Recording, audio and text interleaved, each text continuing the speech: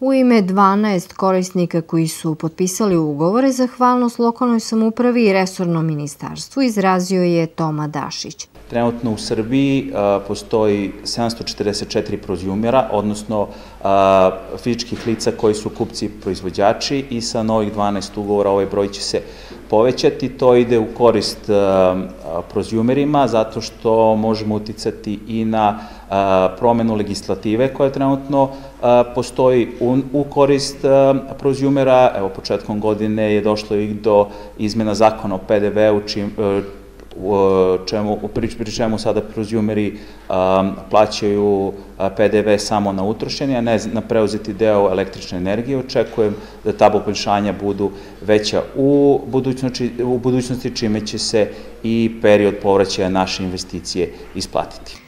Podsjetimo, Ministarstvo rudarstva i energetike i grad Leskovac po osnovu programa energetske sanacije stambenih zgrada, porodičnih kuća i stanova opredelili su 35,5 miliona dinara u protekloj godini.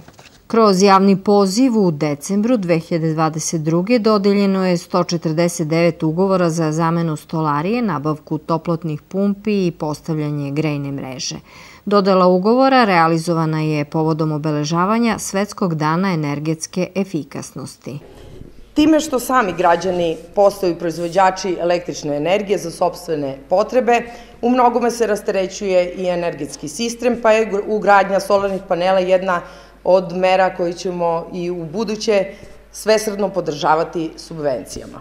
Po osnovu javnog poziva za ugradnju solarnih panela za proizvodnju električne energije ugovore sa krajnjim korisnicima potpisala su tri privredna subjekta.